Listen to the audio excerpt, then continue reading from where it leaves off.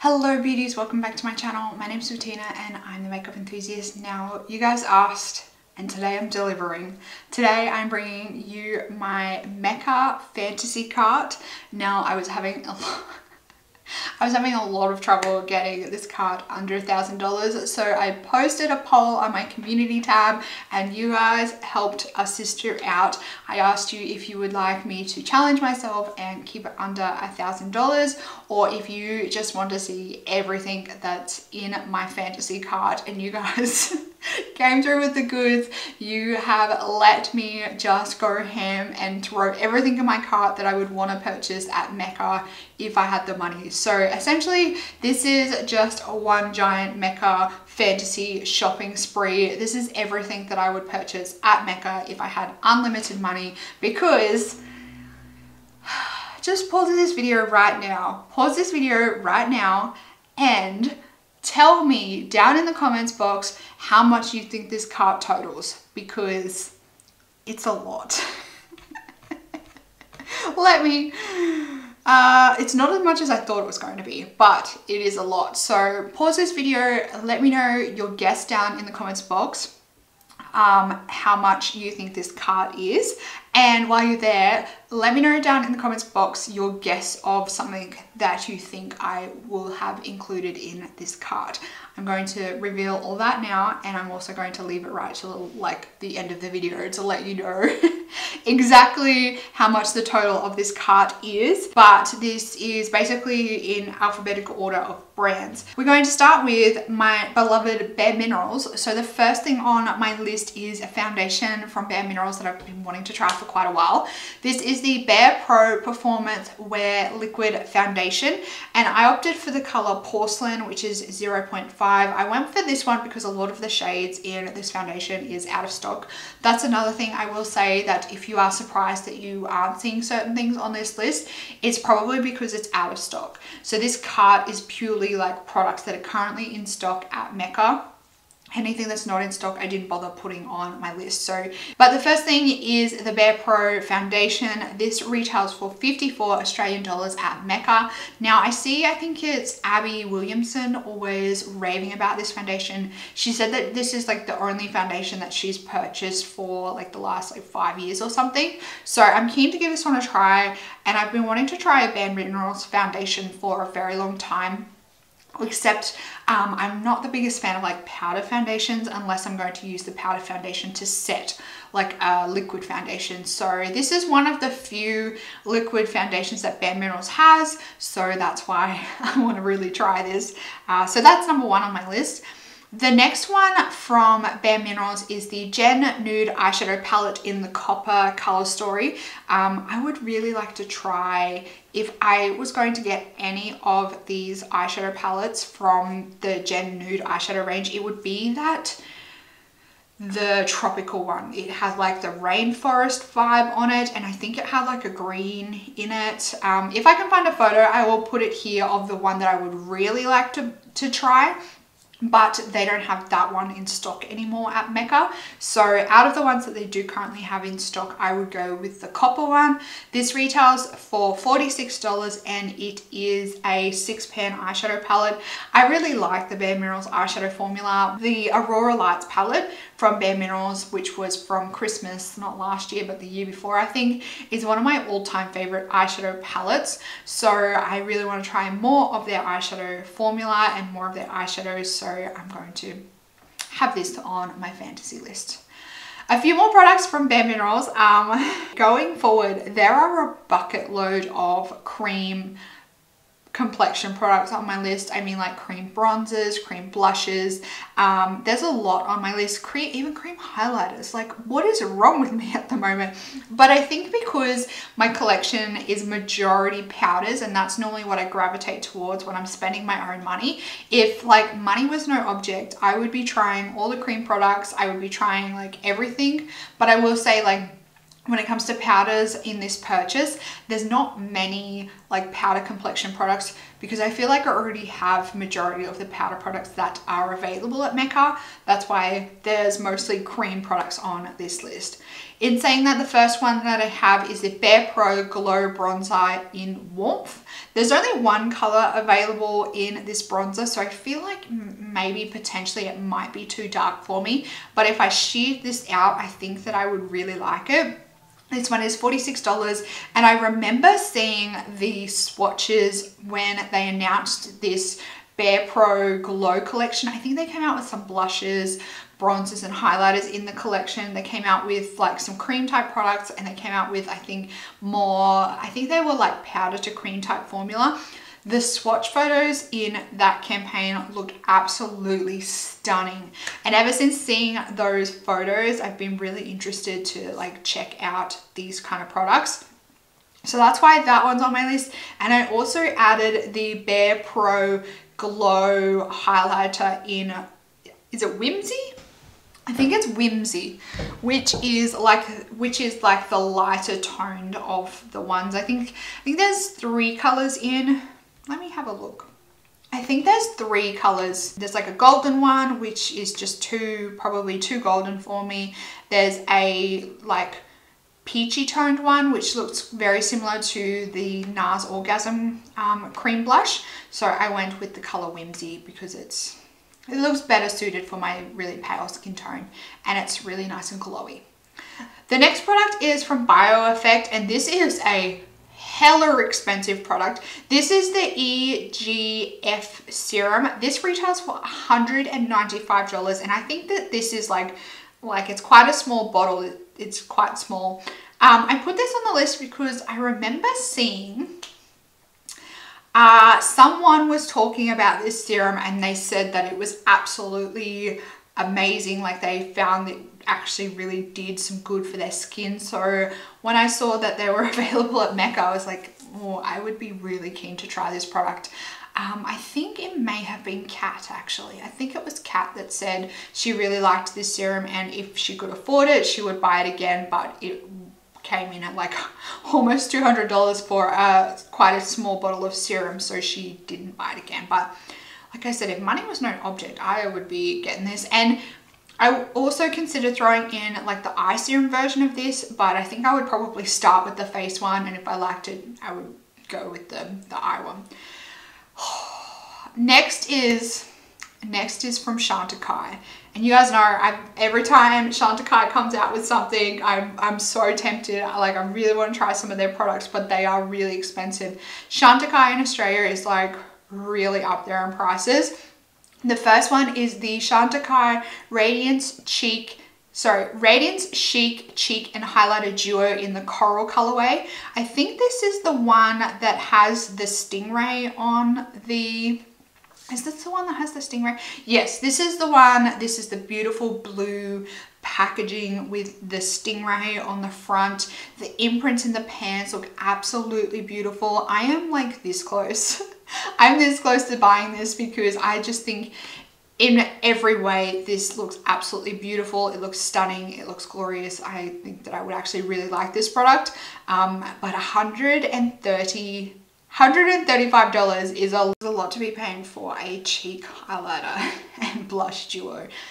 Granted, the packaging is absolutely glorious. Um, the next uh, Chantecaille product is the Philanthropy, Philanthropy uh, cheek color in emotion and this is the one that has the bee imprint on it. It looks absolutely beautiful. I do believe on this one that the bee imprint is like an overspray but nonetheless it still looks glorious. It looks beautiful. 64 dollars once again. A lot of money to be paying for a blush and the next one I just had to put on the list because I just could not resist the packaging is the Chantecaille Luminescent Eye Shade in Giraffe. Now, um, a little thing that you guys don't know about me, giraffes are my all-time favorite animal. So I had to put this eyeshadow on the list. It is $83 though for a single pan of eyeshadow. Like this eyeshadow needs to apply itself for me to be able to justify buying it. It is hella expensive. Then we have a few uh, cream cheek products. We have the Chantecaille Cheek Gelée Blush in Vibrant. Uh, this is $70 for a cheek blush. Um, I just want to try this Gelée cheek formula. I remember back in the day, a lot of people were raving about the Chantecaille uh, complexion products. Like I think it's the Gelée bronzer and also the Gelée blushes. So very interested, very interested to check that one out. Then we have the Ciate London Dewy Blush in Coconut. Now the color I actually want to try is out of stock at the moment, but the color Coconut is like my second choice. These are $35 and I'm not quite sure, I'm not quite sure about this formula, but if I had all the money, uh, I wouldn't really care. I would just wanna wanna try the um, the products. This is supposed to be vegan glossy cheek tint and I'm interested to know whether it will dry down or whether it's going to stay sticky because it does say it's a glossy cheek tint so I'm intrigued by the formula but it says it's supposed to you know enhance skin radiance. It's supposed to have hyaluronic acid in it. It's got dragon fruit. Uh, the formula sounds really nice, except the fact of whether it dries down or not, whether it's going to stay tacky. Uh, so that one's more of a, I want to try it just out of curiosity more than anything few Dermalogica products which I didn't think that I would add to the list but I did. Uh, the first one is the Dermalogica Brighter Together Biolumin C pack. This comes with a like vitamin C serum as well as a vitamin C like eye cream. It's $134 for the pack. You guys know I love trying different vitamin C's. So I saw that one and I was like, that looks like a really great pack. You get two products in it. Um, and I'd keen to try actually. This might even be the next kind of vitamin C product that I try. Depending on if the pack is still available when I run out of my, the one that I'm currently using. I'm currently using the Dr. Dennis Gross um, vitamin C serum. But I might maybe check that one out when I run out of the Dr. Dennis Gross one. Um, and then the Dermalogica Daily Super Foliant I just put the mini in my cart. You know, I can be reasonable sometimes. um, so I just put the mini, the mini 13 gram one in my cart just to see what it's like. I just realized I totally forgot a product that I wanted to try. Uh, then we have the Dr. Dennis Gross uh, Professional Grade Resurfacing Liquid Peel. This is a two-step product. This comes in at $167. You guys know I really like those um, like daily peels that Dr. Dennis Gross has but I refused to buy them because they are so wasteful. So I figured that I would try the the ones in the bottle and then I would only have to do it maybe like once every two weeks or once a week and I think that in the long run I think that the professional grade liquid would be better value than the single serve sachets. Moving on, I put a few products from Ere Perez in my cart. Now, Ere Perez is an Australian brand, I believe. First of all, I put in the Quandong Green Booster Serum for $40. It's green and it looks cool. That's the only justification I have for throwing this one in the cart because it looks cool and I'm interested to see what it's like um, because it looks like um, a green juice that I'm gonna put on my face. Then uh, the Ere Perez Arnica Concealer in Latte. I'm interested in this one. I don't know whether it would, it's really suited for my type of under eye area all that much. Um, Arnica's typically for like bruises. Um, so I would imagine that this is more designed for someone that has like really blue under eye areas.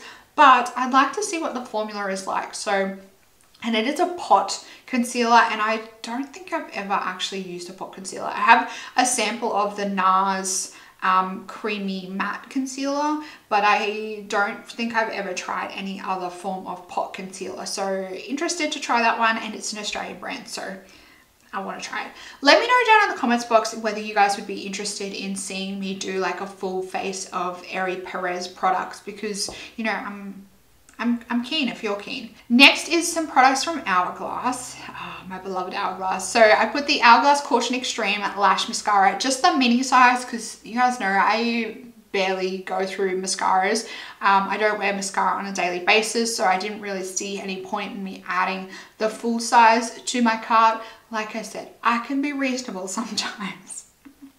um, but in saying that, the mini of this mascara is still $22, which is pretty expensive. I also threw the Veil Translucent Setting Powder in my cart because I have tried the sample of this product and I really liked the powder. So I would be down to get a full size. And I couldn't go past Hourglass without throwing one of my favorite lipsticks in the cart. So the Hourglass Confession Ultra Slim High Intensity Refillable Lipstick in my favorite. Um, this is like an everyday nudie pink color. Uh, for $58, they are very expensive lipsticks, but I love the formula. I threw in a perfume, the Jo Malone Wood Sage and Sea Salt Cologne. I would also like the Peony and Blush Suede, but it's currently out of stock. Um, so I only went with the Wood Sage and Sea Salt. Uh, next is I've got a fair few products from Jouer because I'm dying to try some stuff from Jouer. So I've got the Jouer Blush Bouquet Dual Blush Palette in Adore. Um, these normal everyday blushes $48 for the duo and also I really want to try the soft focus hydrate set powder I went for the color fair because it's self-explanatory like translucent paper over here. I need the lightest color. Uh, $48 for that one as well. I like how most of their products are the same price. Uh, Jouer Sunswept Bronzer Duo in obviously light to medium. I still think that this might even potentially still be too dark for me, but it is $48 as well. I really want to try a lot of Jouer products. Um, next we have Lilah B and I only have one product and it is Yet another cream blush and this is in the color Be Daring. This is like quite a bright orange cream blush, but I, I wanted to try it. But this little guy is $72. No, sorry, $74. Um, hella expensive, very, very expensive. But I think that this would be a really pretty color. NARS, I only have one product from NARS and it is the Natural Radiant Longwear Foundation in the color Siberia, $78. I've heard I've heard mixed things about this foundation, but I would still be keen to, um, to give it a try. You know, I'm open to try it. Rae Morris, oh my gosh, I am dying to try some of Rae Morris's brushes. I only put two of her brushes on my list though. The first one is the uh, Jishaku number seven deluxe point shader. And the next one is the Jishaku um, number eight medium point shader. So these are like pointed blending brushes. These both are $85 and $80 respectively. Very expensive, but these are like handcrafted in Japan.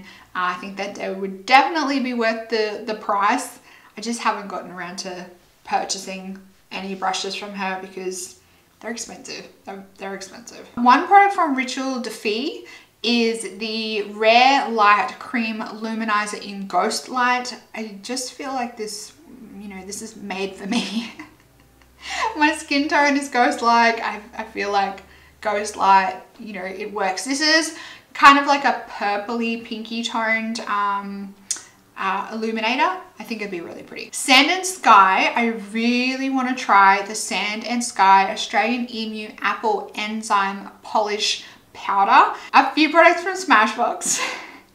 Can you guys guess the products from Smashbox? The first one is the Photo Finish Vitamin Glow Primer. I'm actually really tempted, like putting all fantasy list aside, I'm really tempted to try this primer. So you might possibly see this one in my collection in the future at some point, maybe. Uh, then I have two of the Photo Finish Primer Waters. You guys know I love the Primer Waters. So I've got the Crystallized Photo Finish Primer Water in Aurora Shield, one of my all-time favorite scents, as well as the Primer Water Centering Citrus, another one of my all-time favorite scents in the Primer Waters. Uh, they're both $51. Not cheap. We are doing fantasy list, so of course you're going to see Sol de Janeiro on my list, and it is the Brazilian Joia uh, Strengthening and Smoothing Shampoo and Conditioner. These are both, these are $40 each, and they are 295 mils. So they're $40 and you're getting like less than half a litre, way less than half a litre, uh, not even 300 mils. $40 and you're getting 295 gram, 295 mils of product.